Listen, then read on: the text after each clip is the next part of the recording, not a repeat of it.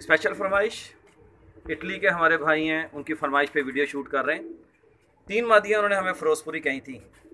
देख लें भाईजान, कहीं से बांकों का टच नहीं है। घाटा देखें, पर चेक करें। पहली मादी का उनका आगाज़ हो गया, ये देखें। दुम देखें, पंजे देखें।